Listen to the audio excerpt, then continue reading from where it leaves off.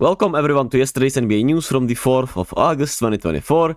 And we actually had some partial news, and obviously we had Caitlin Clark playing, which, I mean, draws all the attention you want.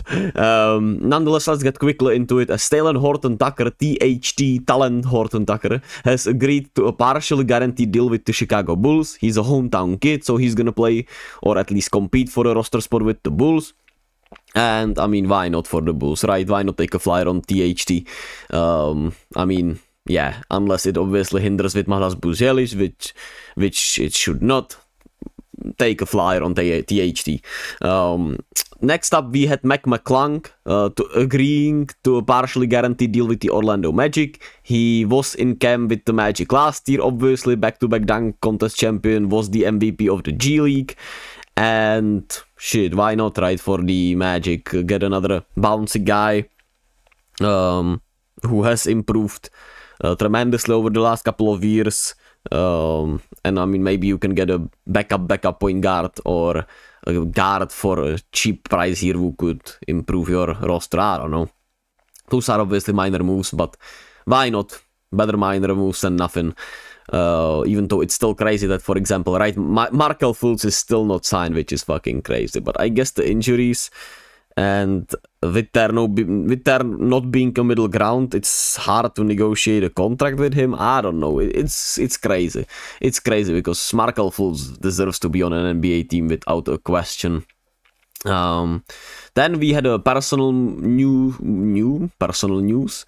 Uh, the 76ers are hiring Memphis Grizzlies executive executive. Okay, actually that that's a fucking banger. Uh, executive. Uh, okay, I'm not gonna do that shit. Yeah, fuck. No.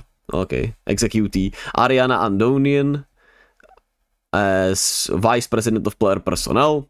Uh, and there was also a rumor, I'm pretty sure, that uh, the Sixers could move to Brooklyn in 2031 to 2032 or something like that, which would be fucking insane. Uh, and, I mean, maybe if the negotiations and shit just don't work out, I mean, we would have the Brooklyn 76ers, which would be weird as hell, but I mean, shit, why not? Um, and then obviously GG Jackson will miss at least three months due to the right foot surgery he had uh, which is just tough. Uh, but I mean, hopefully, no more bad news for the for the Grizzlies in this off season. Um, knock on wood. Nonetheless, let's get into the WNBA. The Fever beat the Sparks 93-86 uh, due to another great performance from Caitlin Clark. She had the first ever rookie triple-double uh, with 24 points, 10 rebounds, 10 assists. She also had 3 steals, 8 of 17 shooting from the field, 7 turnovers still, but I mean, we knew that's just who she is. She tries very risky passes, that's why she's a great passer, but uh, the question is how great of a passer she is when she averages so many turnovers, actually. That's my question to y'all. But I mean, we know she has the vision and we know she makes some incredible passes, but um, the turnovers are kinda crazy, but that's just who she is at the end of the day, like I said. Uh, Aliyah Boston also had a great game, 24 points, 14 rebounds, 4 assists, 10 of 16 shooting from the field.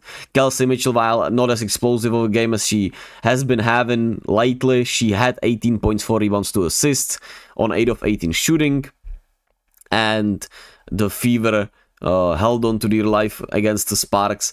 Uh, they were, rebounding really well, which was huge. They got to the foul line a lot, which was huge. Uh, while the Sparks hit the, you know, were shooting the three ball really well, uh, it could not counter all the other things enough. Uh, but Odyssey Sims continues to impress. It's kind of crazy that she, uh, you know, is just a journeyman in the league, journeywoman in the league, um, because yeah, I mean, she's a bucket. I don't get it. I don't get it. But I guess there might be more reasons to everything. I don't know.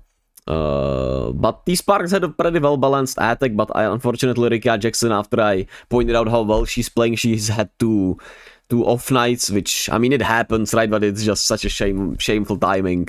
Uh, but I mean it happens obviously to every single one, every single player in the world except I guess LeBron and uh, yeah, that's it. um, so that is that. But the Sparks are playing okay. Obviously, they will be fighting for the number one pick, and with that, there will be obviously uh, all the pressure on next year. Well, today's slate contains two games. We have the Storm against the Liberty. The Storm finally got a great win, but obviously a really tough schedule with the Liberty. Uh, with play playing against Liberty and the Mystics against the Mercury. The Mystics fighting for the last playoff spot.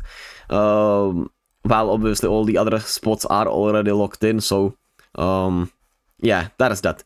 Uh, nonetheless, thank you all. Uh, thank you all for uh, watching, for listening. As always, be kind to yourself and others, be gentle with yourselves, and I'll catch you all wherever, whenever. Uh, love.